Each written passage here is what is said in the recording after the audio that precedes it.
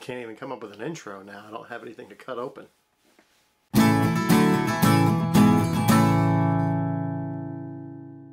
Hey everybody, it's Billy. Uh, how's it going? I don't know. I don't know how that's supposed to work. Um, this is the top five items for the month of May. I waited a little bit um, because I want to make sure I had all of my boxes that were supposed to be from May. Um, I was still waiting on the Z box, but apparently I'm getting the June Z box and not the May Z box. So I don't have to wait for that one anymore. And honestly, I probably didn't need to wait because the things that I was waiting, the boxes I was waiting on, uh, turned out to not be things that I was all that into. So anyway, uh, we probably could have just done this and been done with it already.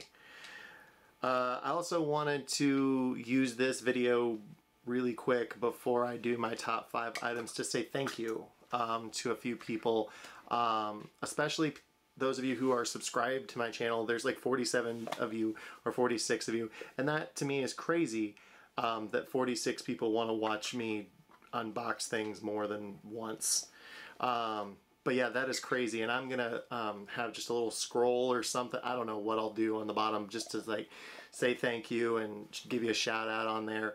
Um, but I do want to point out, um, I think it's six people who I feel like comment on just about every video that I put out and just say thank you in general and that I really appreciate you all supporting and uh, commenting on my videos. Um, those are Jason Urban, um, who has his own nerdy box and you should check it out. Um, I'll put a link to that in my description, but you should check that box out.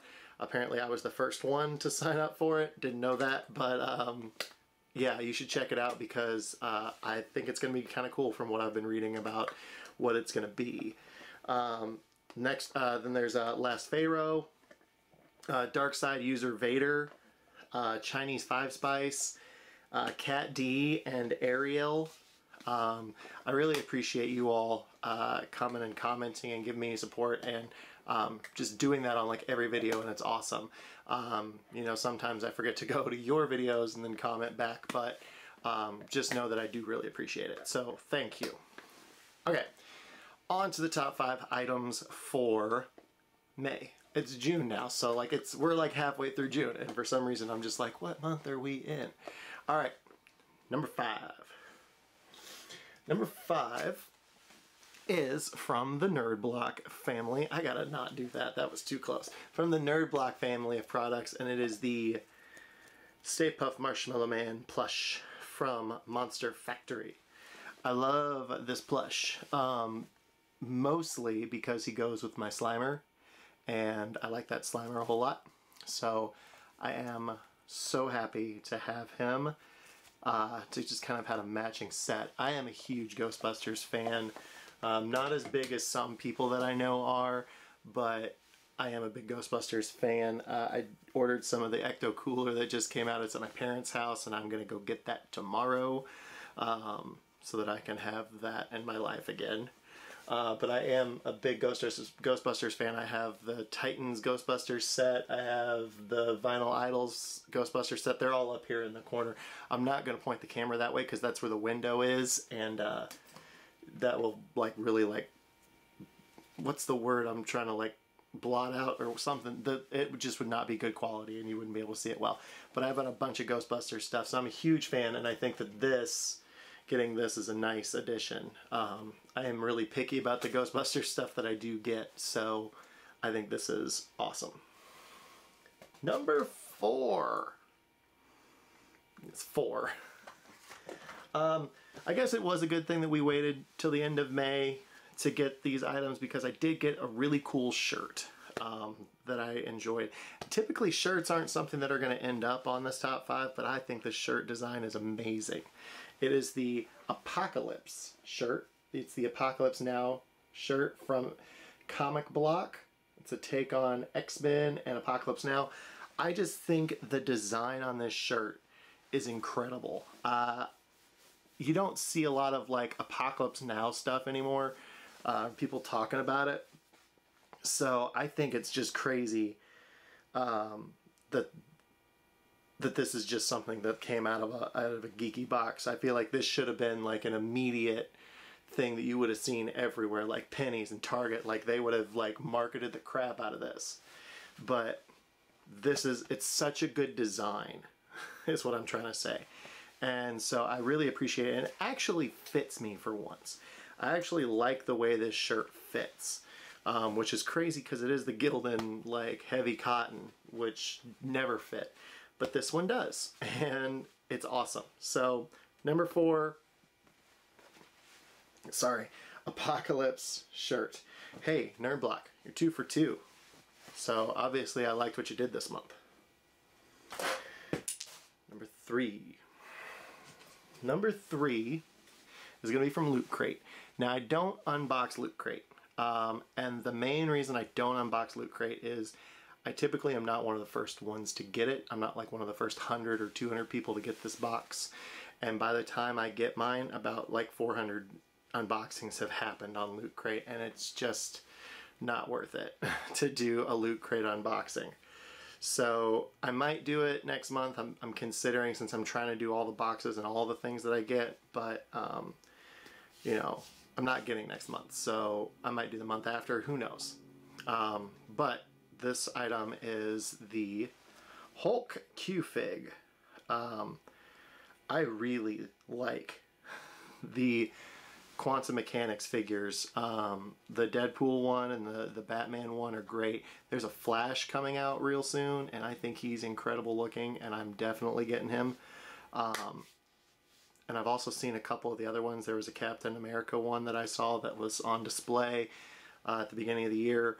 I, I just really like all of the detail that's in him. I look at his like pants, like with the Avengers logo, and it's just so much detail that's gone into this figure, and it's great. It's such a good figure, and it it interacts really well with the Deadpool one. They look great together.